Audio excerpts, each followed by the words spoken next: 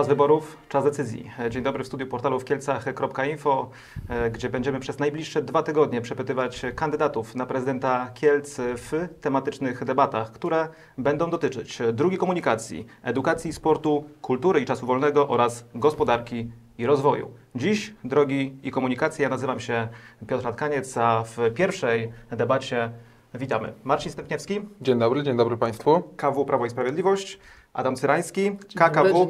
Trzecia Droga PSL, PL 2050, Szymona Hołowni, dzień dobry i Maciej Bursztajn, KWW, Maciej Bursztajn, Przyjazne Kielce, dzień dobry. Dzień dobry, dzień dobry Państwu. E, Panowie, debata składa się z dwóch rund. W pierwszej rundzie zadam Państwu e, pięć pytań. Na odpowiedź na każde pytanie jest jedna minuta. W drugiej rundzie każdy uczestnik może zadać jedno pytanie do wybranego kontrkandydata w temacie drugiej komunikacji. Pierwsze pytanie. Każdy z Państwa wie doskonale i mówi o potrzebie remontów kieleckich ulic. W jaki sposób skutecznie i szybko doprowadzić do remontów jak największej ilości kieleckich dróg? To są przede wszystkim dwa elementy, które proponujemy w naszym programie wyborczym. To jest strategia budowy dróg, na którą składają się trzy elementy, czyli spójny harmonogram wieloletni, który krok po kroku będzie realizowany, tworzenie dokumentacji przyszłościowych, tak żeby można było pozyskiwać środki zewnętrzne, ale także trzeci element, wykorzystywanie tych środków, które są w budżecie. Niestety dotychczas mieliśmy z tym do czynienia, że nawet 100 milionów złotych było przesyłane w budżecie na kolejne lata Yy, i taka sytuacja nie może mieć miejsca, nie powinna mieć miejsca i będziemy te środki wykorzystywali, ale strategia budowy dróg pozwoli także na pozyskiwanie środków zewnętrznych. Niestety dotychczasowa władza w Kielcach nie zawsze sięgała po te środki zewnętrzne, ale jest też drugi element, czyli program Zapomniane Dzielnice. Będziemy chcieli przeznaczać i będziemy przeznaczali procent dochodów mieszkańców zapomnianych dzielnic na remonty infrastruktury właśnie w tamtych okolicach. Zwykle to są obrzeża naszego miasta i mieszkańcy, którzy mieszkają w tamtych rejonach muszą być w końcu docenieni, musimy o nich pamiętać i musimy wyremontować te zapomniane dzielnice. Dziękuję bardzo. E, Adam Cyrański, teraz przypomnę pytanie. W jaki sposób skutecznie i szybko doprowadzić do remontów jak największej ilości kieleckich dróg? No, podstawą jest w ogóle stworzenie planu e, remontów dróg e, i ich budowy. E, Na dzień dzisiejszy mamy. Nie ma czegoś takiego. Robi się raz na rok e, dziwne rzeczy. E, Plan musi być zaakceptowany. Ja mam pomysł na to następujący. Dzielimy Kielce na dwie strefy. Zewnętrzne firmy przygotowują plan e, remontów dróg w zespole na przyszłość.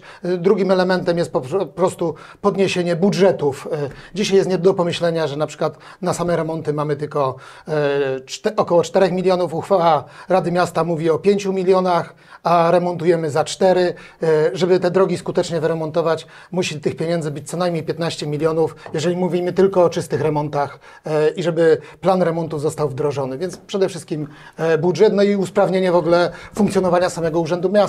Tam jest nie do pomyślenia to, co się dzieje na linii MZD a Urząd Miasta. Dziękuję bardzo. E, I czas na Macieja Bursztajna.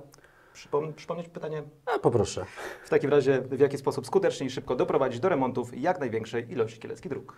No przede wszystkim musimy remontować je szybciej niż one się zużywają, bo ja pamiętam jak 4 lata temu zacząłem pielgrzymkować dosłownie do, do MZD, to, to jeszcze poprzedni dyrektor MZD powiedział mi, no panie radny, no to jest problem taki, że my za... One się szybciej zużywają niż my je remontujemy, więc trzeba po prostu, to są kwestia priorytetów, czyli to jest w zasadzie wszystko to, co mówili moi przedmówcy, Plus ja dodam tylko to, że my w Kielcach mamy nieuregulowany stan prawny wielu dróg. I to powoduje, że my możemy to robić albo w trybie zridowskim, albo po prostu rzeczywiście je remontować.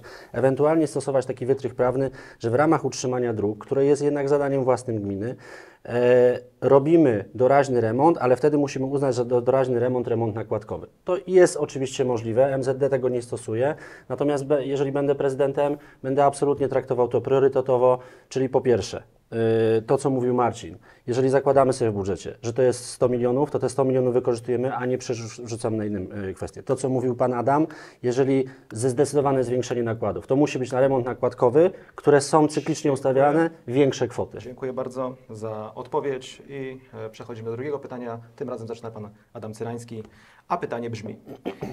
Jak będzie wyglądać komunikacja miejska, gdy wygra Pan wybory? Proszę o wskazanie konkretnych propozycji dotyczących zmian w taborze, siatki komunikacyjnej oraz udogodnień dla pasażerów. Przede wszystkim e, powinien być zrobiony plan komunikacyjny miasta.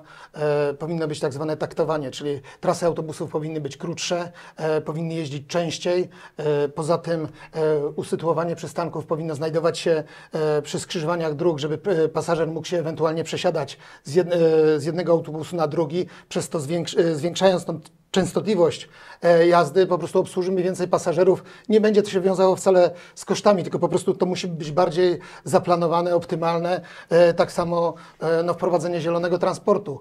Z reguły autobusy elektryczne ruszają szybciej, szybciej się poruszają. Jeżeli by w centrum miasta były porobione takie huby do przesiadkowe, no to mamy w tym momencie usprawniony transport. No i oczywiście, żeby po to, żeby on jakby funkcjonował dobrze, no to wiadomo, ludzie powinni przyjechać na obrzeża miasta, wsiąść do komunikacji, która sprawnie funkcjonuje i dojechać komunikacją Dziękuję bardzo za odpowiedź. E, I pan Maciej e, Bursztajn. Przypomnę pytanie, jak będzie wyglądać komunikacja miejska, gdy wygra pan wybory? No przede wszystkim ona będzie konsultowana z ekspertami, z mieszkańcami, bo to jest jakby ja już wielokrotnie powtarzałem, że e, moja prezydentura to nie będzie samogłoska, tylko spółgłoska. E, tutaj jest jakby ta remarszotyzacja, która się odbywała w ostatnim czasie, ona raczej po, pokazuje, że raczej to był y, właściwy kierunek, bo jeżeli w 2019 z komunikacji miejskiej z zbiorkomu skorzystało 30 chyba 6 tysięcy, kie- 36 milionów Kielczan, to już w zeszłym roku to było 38 milionów. Czyli jakby wróciliśmy do tego, co było przed pandemią, plus 2, mil- plus 2 miliony więcej. Gdyby doliczyć e, seniorów i osoby z niepełnosprawnościami, to jest prawie 40 milionów, bo oni oczywiście jeżdżą za darmo, tutaj podałem te dane, które są z biletów. E, taktowanie, tak jak to zostało powiedziane, czyli te krótsze trasy, miejsca, gdzie możemy się przesiąść, ale również rozbudowywanie tej siatki, bo w, trakcie spotkań z seniorami chociażby słyszę, że seniorzy na przykład nie mogą się dostać często do klubu seniora, na przykład na Naruszewicza. Pozdrawiam panią Krysię, która cudowna kobieta, która mi o tym powiedziała. Dziękuję bardzo za odpowiedź. E, I pan Marcin Stępniewski, jak będzie wyglądać komunikacja miejska, gdy wygra pan wybory? Bardzo dziękuję. Ta remarszutyzacja, która została przeprowadzona i o której trochę mówił Pan Adam, bo to właśnie w tym kontekście była ona przeprowadzona w Kielcach, nie zawsze się niestety sprawdziła i mamy takie ciemne plamy na mapie miasta Kielce, gdzie mieszkańcy zwykle odległych od centrum dzielnic nie są w stanie się dostać na drugi koniec miasta. Bardzo często muszą się przesiadać nie dwukrotnie, ale trzy czy czterokrotnie, żeby dojechać w docelowe miejsce. Taka sytuacja nie powinna mieć miejsca i powinniśmy wrócić do niektórych linii, takich celowych, które na przykład dowożą ludzi do szpitala, na y, bazar miejski, na, na kielskie bazary, czy do klubów seniora, o których również y, wspomniał Maciej. Będziemy y, również korzystać y, z pomysłów innych kandydatów. Jeśli Kamil Słuchański przedstawi wyliczenia dotyczące bezpłatnej komunikacji miejskiej i będzie to możliwe do zrealizowania, to dlaczego by tego nie zrobić? I chętnie z tego pomysłu skorzystam. Ale jest jeszcze ostatnia kwestia. Ulgi dla mieszkańców Kielc, którzy płacą podatek, podatki w Kielcach, właśnie między innymi na komunikację miejską. Dziękuję bardzo za odpowiedź. I runda trzecia, czyli pytanie numer trzy. Teraz zaczynamy od pana Macieja Bursztajna.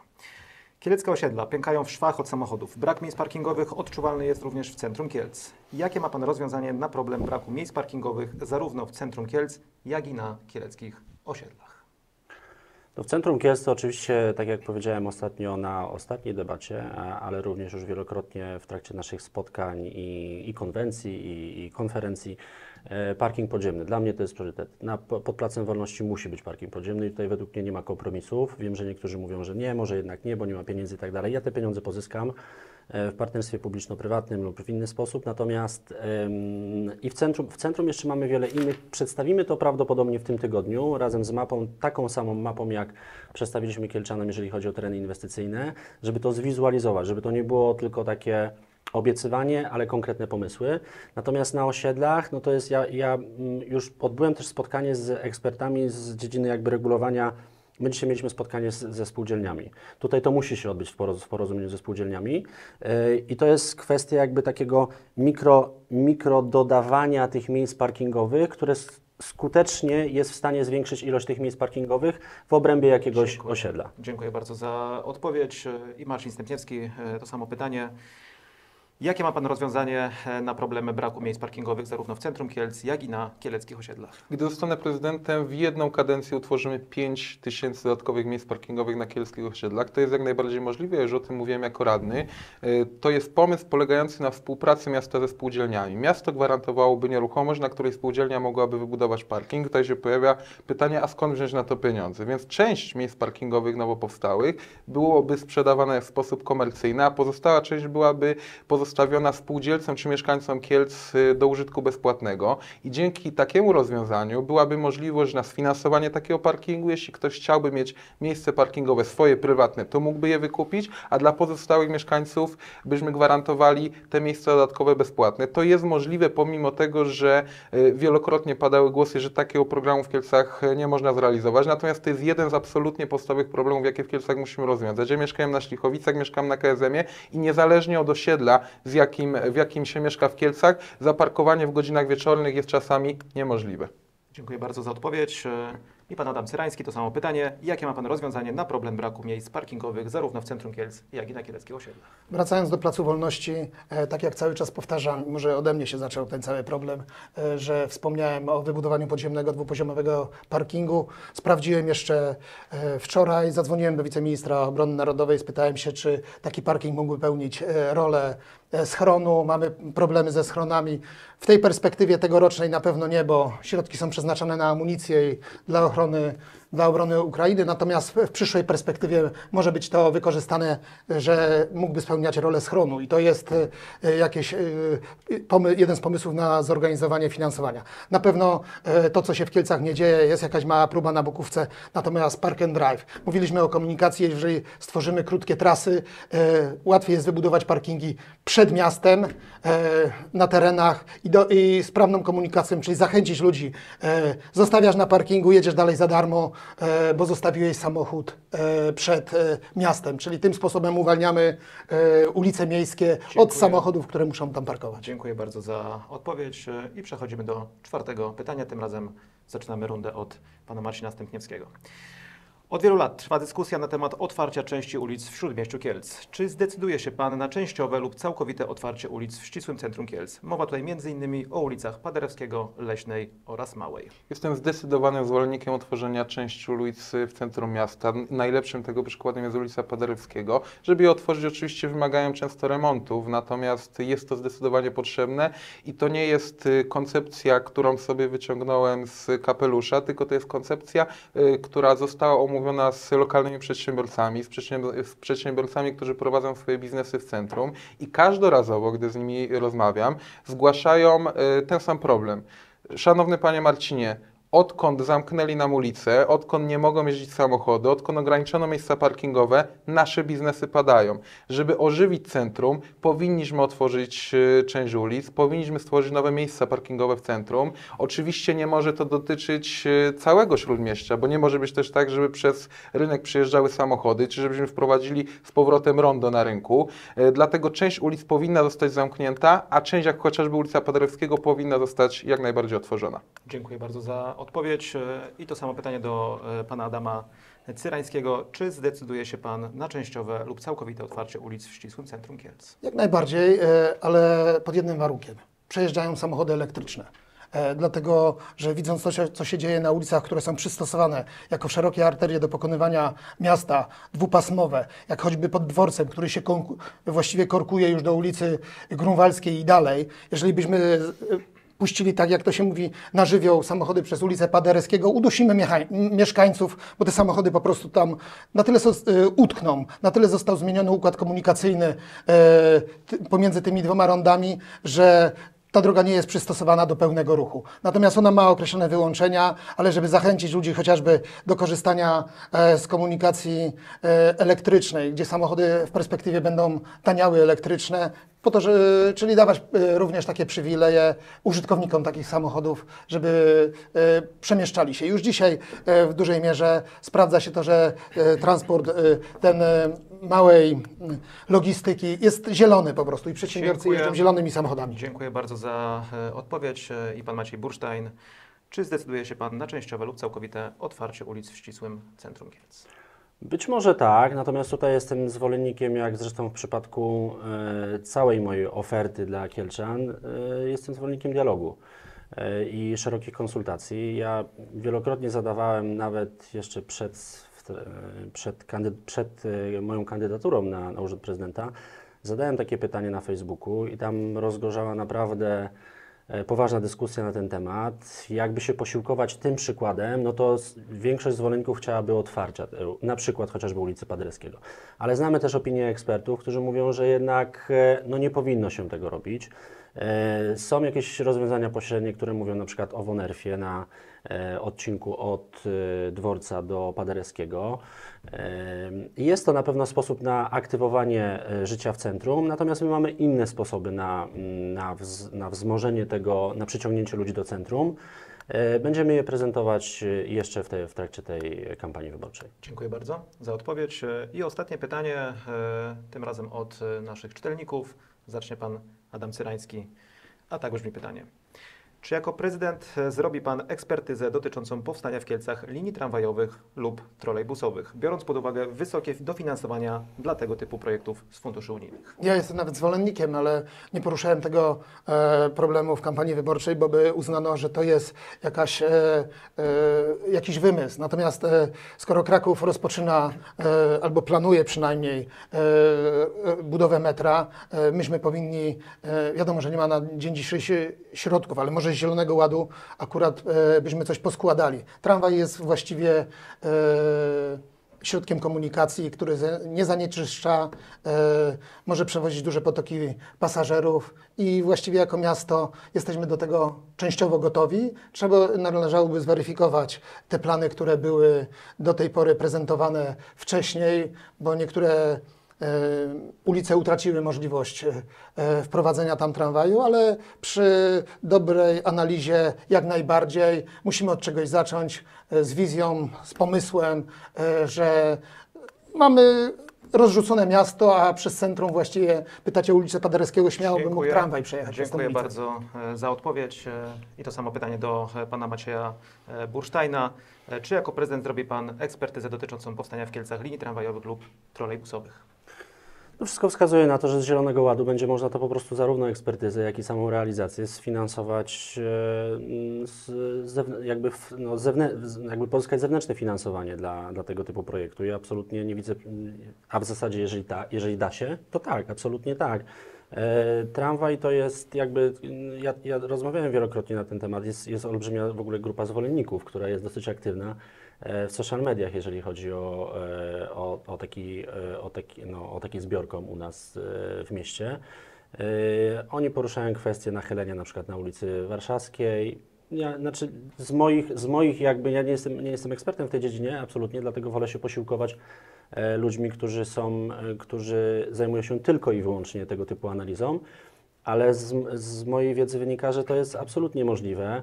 Może nie ulica Paderewskiego, bo ona jest trochę za wąska, ale raczej na przykład takie arterie jak Czarnowska, m, raczej szersze ulice, jak najbardziej tak. Dziękuję bardzo za odpowiedź. E, I e, tą kolejkę kończy Marcin Stępniewski.